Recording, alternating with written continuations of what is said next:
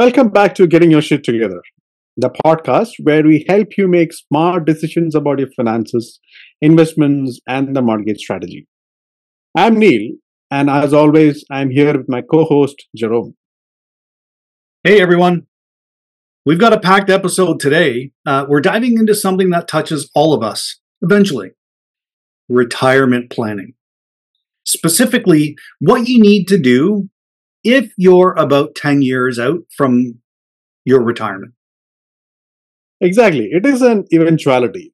And like taxes and death, there is no escaping from it, at least for most people. A lot of people don't realize how much time it takes to get your retirement plans in order. We are not just talking about throwing money into a savings account. It is about making sure all your bases are covered, especially with how long people are living these days. So, first question, Jerome. When should I start to prepare for retirement? As soon as you learn how to spell retirement.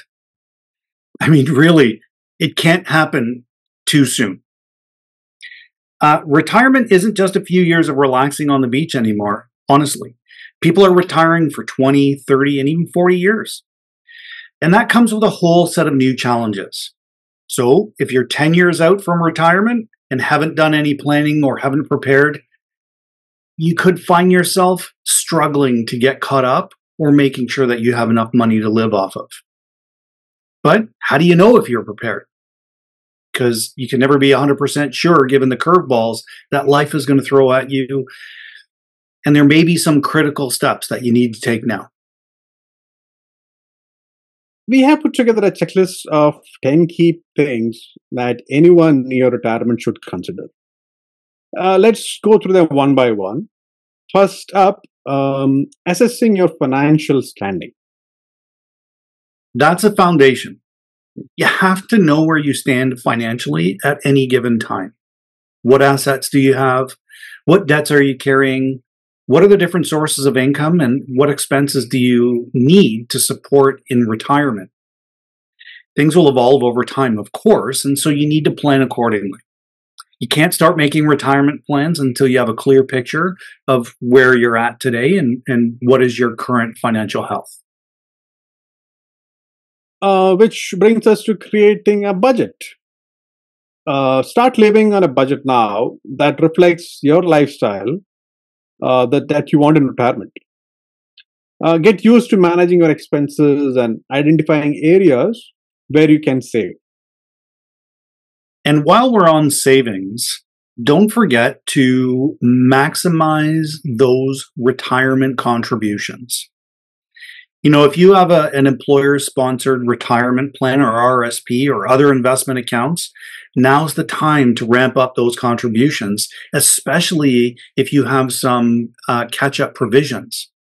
Don't forget about that elusive reduction of taxes at the source to help with that as well. Absolutely. Um, next, uh, let's talk about diversifying your investments you want to protect yourselves against market volatility. So spreading your money across different assets uh, things like stocks bonds real estate etc will give you a balanced portfolio that can weather storms. If you have not managed your investments till now or do not know much about investments then be sure to seek out help. You sure do not want to take too much risk or gamble with what you have saved no, you don't. And then there is the plan for paying down your debt. No one wants to enter retirement with a ton of debt dragging you down. So prioritize paying off credit cards and loans and any other debt with hefty interest rates and try to keep it paid off. Might be helpful to look at doing some sort of a consolidation strategy to get some of these things under control now while your income is still good. Yeah, um, let's talk about mortgage. If you still have one, and this is a big one, evaluate your mortgage strategy. Should you try to pay it off before retirement, or do you have better use of those funds? How about getting a home equity line of credit before you stop working, Jerome? What do you what do you think about it? Uh, you know what? I think a lot of people overlook the idea of having that HELOC while they're still working. Uh, lenders are more likely to approve you while you still have steady income. And a HELOC gives you financial flexibility if you need to access funds later on in your retirement. So, and another thing that's a bonus is there's no interest if you're not using it. So it doesn't hurt for it to just sit there. Exactly. And speaking of flexibility, uh, let's talk about the rising costs of senior living and home assistance plans. It is something that catches a lot of retirees off guard. You might be healthy now, but you may need to plan for the possibility of needing assisted living or in home care. Demand for such services is increasing with our aging population, and so those costs are also skyrocketing. You can't be more right. Um, and that's where something like, you know, for some people, a reverse mortgage might come into play. It, it's not for everybody, and we're not trying to push that. But if you want to tap into your home's equity without selling, it's a tool that can help supplement that retirement income, especially if you're facing some higher healthcare or senior living expenses in later years. It shouldn't be your primary retirement income strategy, uh, but it does have a place in a comprehensive retirement plan. Mm-hmm. And let's not talk, uh, forget about the healthcare costs in general. Once you're retired, you may not have be covered under your former employer's plan or may need to pay more to get a similar coverage. OHIP or Ontario Health Insurance Plan may not cover everything or be sufficient for all your healthcare needs in your senior years. Planning for how you would cover those costs can save a lot of stress later when means are more limited. Yeah. And, and another thing we're seeing more of lately is adult children looking for parents, looking to parents for help, especially with something like an early inheritance. With the higher price of homes, younger generations are struggling to get into the housing market, and parents are often asked to dip into their retirement savings to help. And that's a tricky situation because while it is natural to want your, to help your kids, you may also need to make sure that you don't jeopardize your own financial security. And this is where working with a financial planner is so critical they can help you balance those priorities. And they can maybe even help your kids start on their pathway towards their retirement a little bit earlier. Yeah, for sure. Yeah. And so that brings us to the next point working with a financial planner and an investment advisor. advisor. Having professionals guide you through these decisions makes a huge difference. They help you see the big picture and ensure you're not overlooking something crucial like tax planning or estate planning. Exactly. And the earlier you start working with someone, the better they can help you craft a plan that takes all of these variables into account. Yeah. Retirement isn't a one size fits all situation, especially with the way things are today. Uh, now, let's talk about the final item on our checklist. And this is something which is often overlooked. Retirement planning is not just about the numbers and finances, you need to invest in yourselves too. This is such an important factor, Neil. Planning for retirement isn't just about making sure you have enough money. It's about setting yourself up for a fulfilling life beyond working. Mm-hmm. Uh, retirement can last a long time. And if you're not keeping yourself active mentally, physically, or even socially, it can feel like you're just waiting around. That's why as you approach retirement, it is important to stay engaged. This could mean pursuing hobbies, interests, or even passions that you have put on the back burner while you are working full time.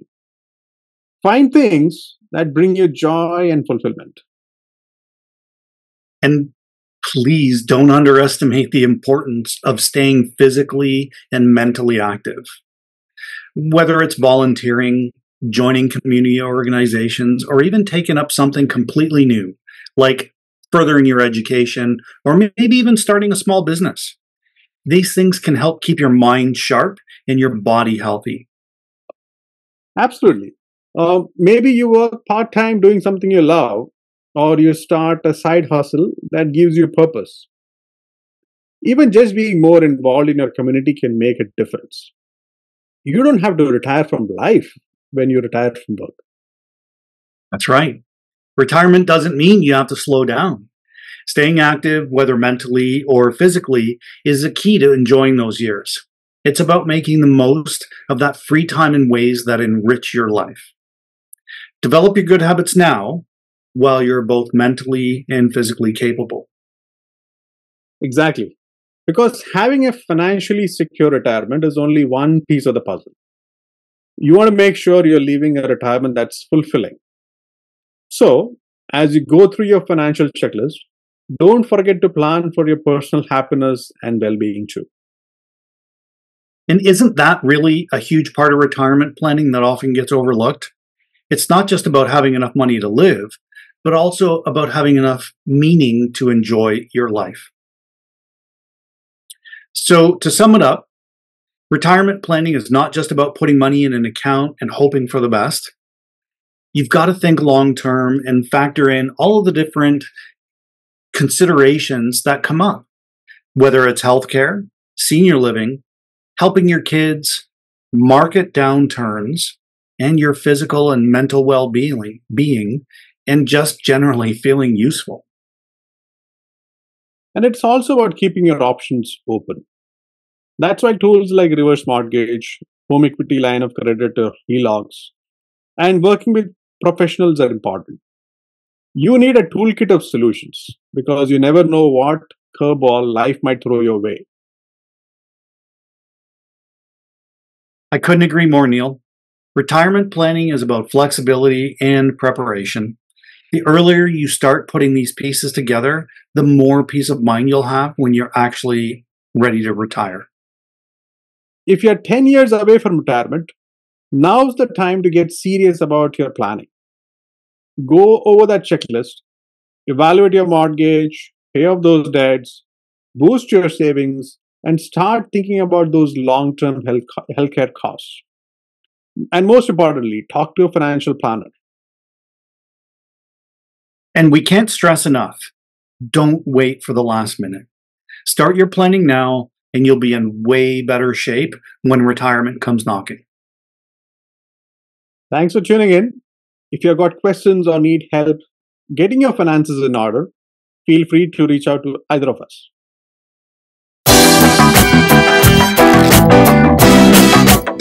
We are diving into something that's not only a smart move for current homeowners, but also something that buyers can consider when looking at properties to buy. Secondary suites. Jerome, I think a lot of people underestimate the value of adding or buying a home with a secondary suite. You know, you're right, Neil. Secondary suites, whether it's a basement apartment, a laneway home, or an in law suite are more than just extra space. They're an opportunity for a, the average homeowner to increase both their own income as well as the overall value of the property. And it's a strategy that more people should be thinking about, I believe, whether they're already in a home or they're shopping for a new one. Exactly. And so, what exactly is a secondary suite? Well, it's a separate, self contained unit within your property. It could be a basement apartment with its own side entrance, uh, kitchen, and washroom, or it could be a standalone unit in the backyard. Either way, it's a space you rent out to bring in additional income. And let's face it, who doesn't want a little extra money coming in each month? I couldn't agree more. Uh, and that extra rental income can make a huge difference for the average homeowner, especially when it comes to managing those mortgage payments. Think about it. Instead of covering the entire mortgage out of your own pocket, you have someone helping to contribute by paying you rent. Uh, it's essentially turning your home into a financial asset that can also help pay for itself. Exactly. And it's not just for people who already own a home. If you're in the market to buy, consider properties that have the potential for a secondary suite. Uh, maybe there is an unfinished basement, or you have room to build a laneway home down the road. Uh, these are the kind of features that can turn a regular home into an income generating machine. That's a great point, Neil. Uh, we've worked with many clients who have turned an underused basement into a fully functioning rental unit, and the impact on their financial situation was immediate. It's not just about the here and now either, uh, uh it's also about the long term investment in your property. Mm-hmm. And speaking of long term, there's the added benefit of increasing the home's value. A property with a secondary suite is more attractive to future buyers, especially in competitive markets like Toronto. Buyers love the idea of moving into a home that already has income potential built into it. Right. Uh, it's like one of those rare opportunities where you're getting both short term and long term benefits. You have immediate financial relief through the rental income. And down the road, when it's time to sell, you've got a more marketable property. It's a win win. Um, and let's not forget another key benefit. And this can be a great option for homeowners who live alone or seniors who want to stay in their homes a little longer. Having someone else on the property can give peace of mind and even a sense of security not to mention the financial help. Yep. And it's not always about renting to strangers. We've seen cases where families create secondary suites for aging parents or even adult children, keeping everyone close but giving each person their own space and independence. It's about flexibility and making your home work for your needs. Exactly. Uh, whether you're buying or already own, having the option to add a secondary apartment gives you that flexibility. And if you're worried about the upfront cost, um, there are plenty of financing options that are available. This is where we, as mortgage brokers, come in. Our job is to help you figure out how to make this work financially. We can help explore options like either refinancing or tapping into your home equity to fund an addition or renovation of a secondary suite. And if you're buying, well, we'll show you how the potential rental income can be factored into your mortgage qualifying. That extra income can make it easier to afford a larger or more desirable home. Mm-hmm. And it's about making informed decisions that benefit you financially now and in the future whether you're adding a secondary apartment or buying a home with that potential, this is a strategy that can really enhance your financial stability. And the best part is, you don't have to figure it out all on your own.